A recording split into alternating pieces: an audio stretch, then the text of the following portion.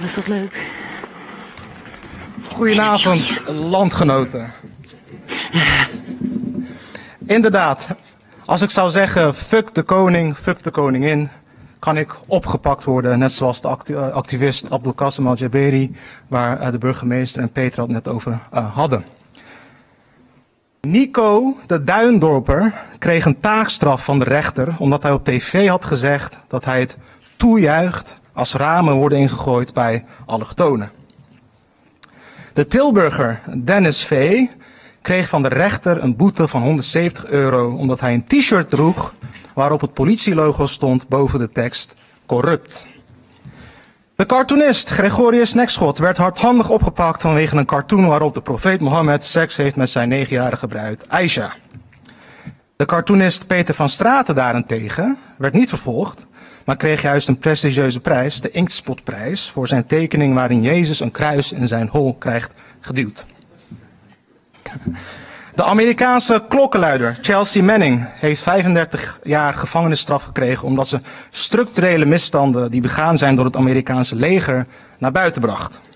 Edward Snowden moest vluchten uit de Verenigde Staten omdat hij informatie lekte waaruit blijkt dat de Amerikaanse veiligheidsdiensten het niet zo nauw nemen met onder andere privacyrechten. Mijn punt is, beste mensen, een festival van het vrije woord is alleen geloofwaardig als we ook bereid zijn om kritisch te zijn op onze eigen landen en onze machthebbers hier in het beschaafde Westen.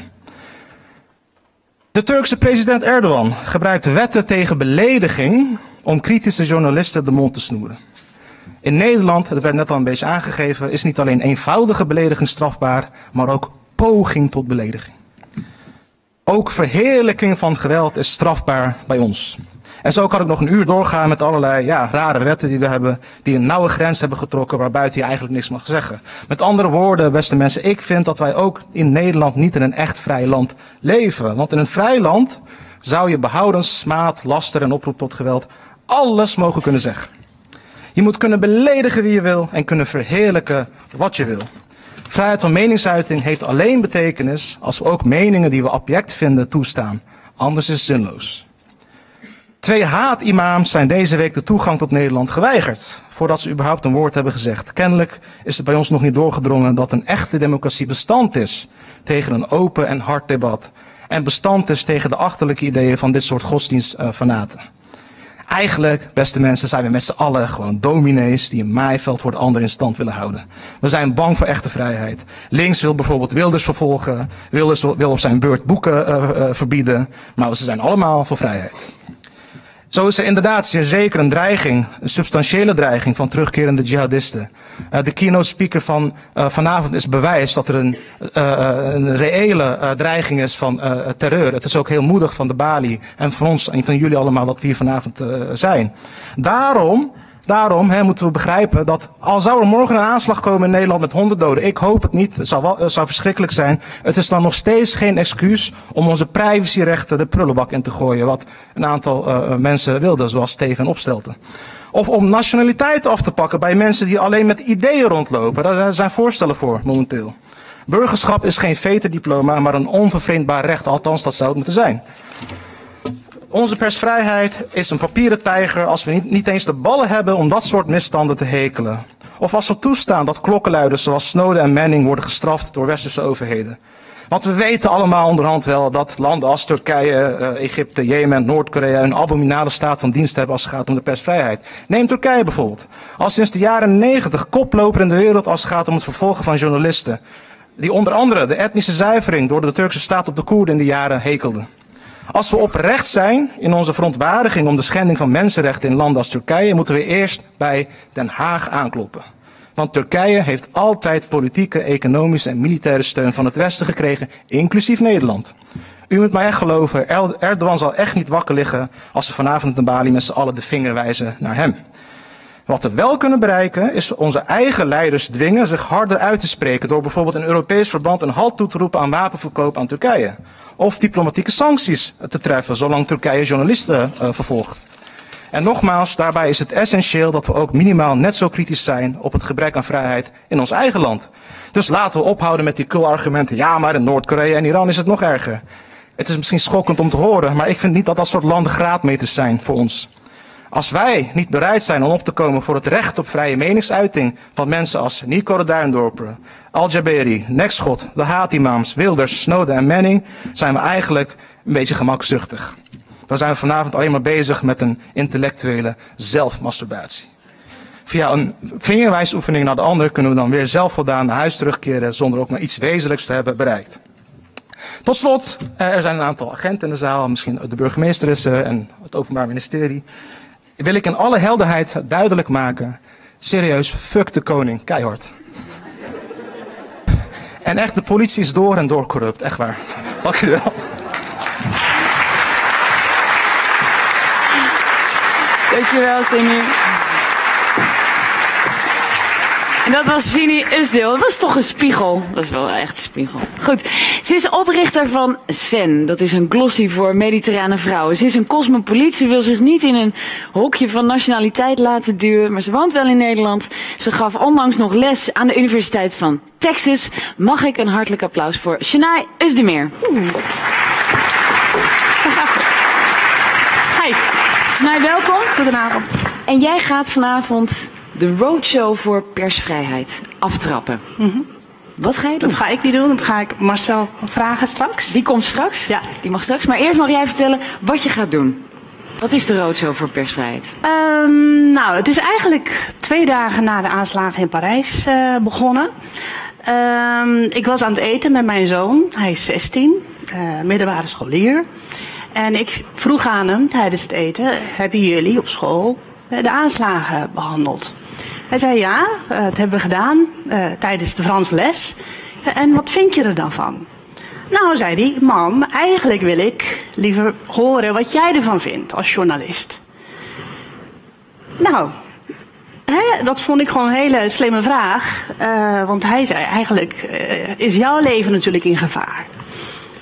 Ehm, op dat moment heb ik besloten om hem gewoon uit te leggen hoe pers werkt, hoe media werken, hoe journalisten werken, hoe belangrijk het is dat wij als journalisten ons vak kunnen uitoefenen. En hoe belangrijk het is dat hij dus met zijn Instagram-accounts, met zijn Twitter-accounts, met zijn Facebook-accounts, ehm, ja, dat hij dat niet als een vanzelfsprekendheid ziet. Ehm, nou, dat was eigenlijk een mini-lezing, laat ik het zo zeggen, over journalistiek. En later. eh, Hij wil het ook allemaal nog aannemen. ja, ja, ja, ja. En hij had er echt ook wel wat aan. eh, zei hij eh, de, de, de volgende dag. En ehm, nou, dezelfde avond lag ik in bed. Ik dacht, niet iedereen heeft natuurlijk een moeder die kan uitleggen hoe de pers werkt, hoe de media werken, hoe het zit. En hoe belangrijk het is dat wij ons vak kunnen uitoefenen. En dus toen be- ja, bedacht ik, Ik wil een tour. projectplan. Nou, ehm, het, het, het, was altijd al een ambitie geweest hoor. Omdat ik vind dat heel veel eh, kinderen, scholieren nog heel weinig van de media afweten. En wat, wat ga je dan doen in het klaslokaal? Want jullie gaan langs scholen. Wat, wat voor les krijgen de kinderen? Nou, ik ben dus aan gaan kloppen bij eh, verschillende organisaties, waaronder eh, minister Ascher, die vond het een heel belangrijk onderwerp. Stichting Nieuws in de Klas heb ik eh, benaderd. Ik heb eh, de NVJ benaderd. En met z'n allen hebben we besloten om eh, speciaal lesmateriaal te ontwikkelen op het gebied van persvrijheid. De, de, we zagen ook dat docenten bijvoorbeeld met handen in het haar zaten. na aanleiding van, die, van de aanslagen in Parijs, van hoe gaan we dit onderwerp behandelen? Ja. Zelf zijn ze natuurlijk niet journalist. Ehm, en ik vond ook vanuit onze beroep- beroepsgroep het heel belangrijk dat wij dat zelf zouden gaan doen. Hè, want, eh, En kun je eens, kun je eens een, een voorbeeld geven wat je bijvoorbeeld zou kunnen bespreken? Jij stapt daar binnen in een klaslokaal en wat gaat er dan gebeuren? Ja, nou, een van eh, de dingen die we hebben. eh, we hebben natuurlijk heel intensief het lesmateriaal besproken, ook met Nieuws in de Klas. Volgens mij zit Chris van Hal ook hier in de zaal. Zeg even hallo. Ja, daar zit hij.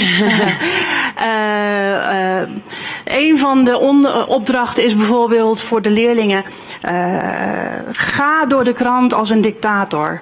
Eh, pak de Volkskrant of het NRC en ga er doorheen met een rode stift van wat zou je nou bijvoorbeeld niet kunnen publiceren in een land als China, in een land als Turkije, in een, in een land als noem maar op.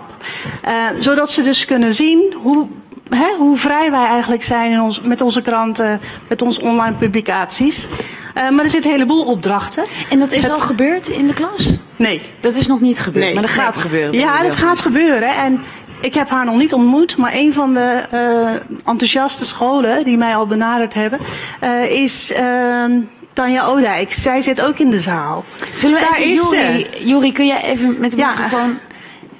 Daar naartoe lopen? Want, Want we kregen natuurlijk een heleboel enthousiaste reacties, omdat die docenten het heel belangrijk vonden om dit te behandelen. Toch maar zo.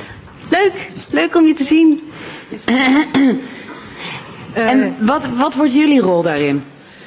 Nou ja, ehm, ik geef les op ehm het Zweling College, VMBO-T, aan het Museumplein. En eh, ik, ik ben docent maatschappijleer.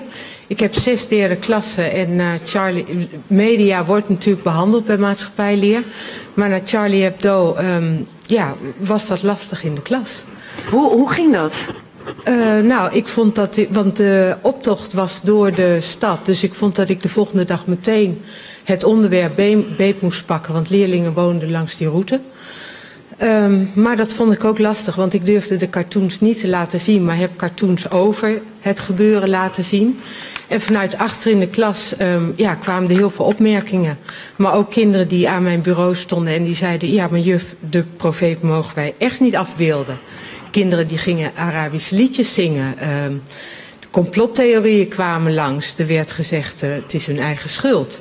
En als docent is dat dan best heel lastig om Ja, om te hoe gaan. ga je daar dan mee om? Wat, wat kunnen jullie dan toevoegen in zo'n situatie? Nou kijk, het is absoluut niet de bedoeling om van die roadshow eh, mensen zeg maar eh, dingen in hun mond eh, te leggen. Dat, dat willen we niet.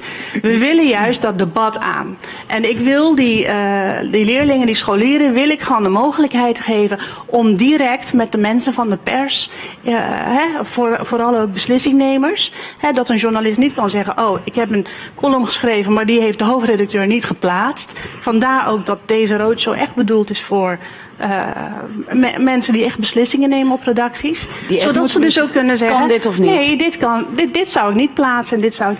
Wat ik heel interessant vind, is aan het einde van de roadshow, want we gaan dus heel, door heel Nederland. Als je dan in Amsterdam hoofdredacteuren hebt, die, hè, dan gaan mensen van de Volkskrant, van het NRC. Maar in Bemmel bijvoorbeeld, of in Friesland, zullen we waarschijnlijk hoofdredacteurs van de Gelderlander hebben. Ja. Of van BN De Stem, of eh, Nederlands Dagblad. Ben ik ook heel benieuwd aan het einde van de rit, hoe, hoe die hoofdredacteuren ook hebben... Hè? En dat is weer interessant voor jou natuurlijk ook. Zeker, Absoluut. zeker. Goed, en ik, wilde, ik ja. wilde even iets toevoegen. Ik- hij is weg, denk ik. De burgemeester. Is hij al weg? Nou, verdomd. Is Hij zou, hij zou hier de hele avond Hij blijven. is, hij, is niet, hij is niet weg, maar hij is niet weg, maar hij is even eh, de hoofdgast aan het. eh, Oh, oké. Maar je had een vraag aan hem. Van hoe ga je dat dan na vijf jaar proberen op te lossen? Hè? En ik, ik denk ook dat het echt begint bij het, het voorlichten, het, hè, het opvoeden. ook... het Ja, ik denk dat daar een hele grote belangrijke taak voor ons is. En we zij- hebben iets heel moois gedaan. Want jullie hebben natuurlijk de media, mensen die in de media werken, nodig om dit te doen. En Marcel Geloof is hoofdredacteur van de NOS. Mag ik een applaus? En hij gaat ook meewerken. Want jij gaat dus een keer mee met Janai naar de klas. En wat ga jij dan doen? Ja, ik eh, vind het heel goed. Ik vind het een heel goed initiatief. Dat, ik vind het een heel goed initiatief. ja, ik richt me tot degene die... Ja, die- ik een beetje ik, richt- ik vind het een heel goed initiatief om eh, juist de jonge generatie in contact te blijven, in contact te brengen met de journalistiek, met, de, met, de ba- met een van de belangrijkste basisfundamenten van onze samenleving, namelijk het vrije woord. Ehm, en wat dat bijdraagt eh, aan de samenleving. En ehm, ehm, hoe belangrijk het is dat de journalistiek in diversiteit opereert en kan opereren. En wat de mechanismen ehm, daar, daaronder zijn. Dat lijkt me heel erg goed en belangrijk dat hoofdredacteuren, maar misschien ook wel andere dan hoofdredacteuren, want daar zijn er steeds minder van, hè, anders wordt het misschien zo weinig. Dus laten vooral journalisten in het algemeen dit ook gaan doen. Dat die de discussie aangaan, het gesprek aangaan met een jonge generatie, om deze waarden met ze te delen. En, en uit te leggen waar dit om gaat en hoe belangrijk dit is. En heb je ook nog wat meegenomen? Een filmpje? Ja. En daar gaan we. Ja, er is een klein filmpje, eh, er is een, een korte animatie gemaakt waarin ehm, het begrip, het vrije woord, ik geloof in iets van een, van een minuut of twee minuten. Anderhalf minuut. Anderhalf minuut wordt uitgelegd en dat kunnen we nu naar kijken. En dat laten jullie zien in de klas. In Nederland. Zeker. In Nederland heeft iedereen het recht te zeggen wat hij denkt en vindt. Dat mag zonder daar eerst toestemming voor te vragen en zonder dat je bang hoeft te zijn voor vervolging door de staat. De vrijheid van meningsuiting staat in onze grondwet en maakt het mogelijk om bijvoorbeeld verschillende soorten nieuwsorganisaties met verschillende meningen in het land te hebben. Dat noem je persvrijheid. Persvrijheid betekent trouwens niet dat je zomaar mag liegen of aanzetten tot discriminatie. Het betekent ook objectiviteit en neutraliteit. Een nieuwsredactie heeft een onafhankelijke positie, dus een duidelijke scheiding van commercie en nieuws. Zo wordt ervoor gezorgd dat ons nieuws zo veelzijdig mogelijk is en jij aan de hand daarvan je eigen mening kunt die je vervolgens overal mag delen. Voor jou lijkt dat allemaal normaal.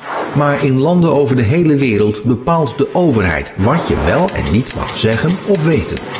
Zo wordt jouw beeld van de werkelijkheid en daarmee jouw mening beïnvloed. Heb je kritiek op de machthebbers? Dan kun je zonder pardon worden opgepakt. Of erger. Hoe ver denk je dat jij kan gaan voordat jouw mening een belediging wordt voor een ander? Waar ligt de grens? En waarom is persvrijheid zo belangrijk in Nederland? Geef je mening. Hashtag Roadshow persvrijheid. Wanneer gaan jullie beginnen? Eh, 26 mei is de eerste bijeenkomst. En die is waar? eh, op het Zweling College eh, in Amsterdam. Eh, we beginnen eigenlijk in Den Haag, Zegbroek College. En dan gaan we smiddags door naar het Zegbroek College. En dan ga jij mee. We hebben afgesproken dat ik het ook zal doen. Ja. Ehm, en, dat, Dan gaat de Volkskrant mee en en waar en hoe, nou dat zien we nog wel, maar dat komt ongetwijfeld goed. En jij wilt denk ik dan ook nog wel een oproep, want volgens mij zitten ook veel journalisten in de zaal. ja, we kunnen echt alle, alle sprekers die eh, dus op zo'n bijeenkomst eh, aanwezig willen zijn eh, gebruiken. Eh, dus als je columnist bent, cartoonist, beslissingmaker op een redactie. eh, eh, Meld ik ben je hier aan de hele bij- avond. Meld je aan bij mij. En dan ga jij met eh, die mensen aan de slag. Zeker, zeker. De bedoeling is dat we aan het einde van het jaar een stuk of veertig scholen hebben bezocht. En, eh, en ik hoop natuurlijk dat het een structureel eh, iets gaat worden. Zodat anderen het Ja, gaan dat is de ambitie. Sinead Oostermeer, heel veel succes. En Marcel Dankjewel. Geloof natuurlijk Graag ook. Dankjewel. Oké. Yes. Goed, ik... Hoe laat is het nu? We zijn, eh, ja, we zijn nog allemaal op tijd. Oké, ja, dat is heel belangrijk. Ehm, we gaan de pauze in. Om half negen gaan we verder met de persvrijheidlezing van Kort Westergaard. Pardon? Moet ik nog... Oh, negen uur. Ja, nee, inderdaad. Sorry, negen uur. Pardon. Ik heb net een baby gekregen. Ik heb een hoofd als een spons. Dus eh, vandaar eh, excuus. Negen uur weer hier, alsjeblieft.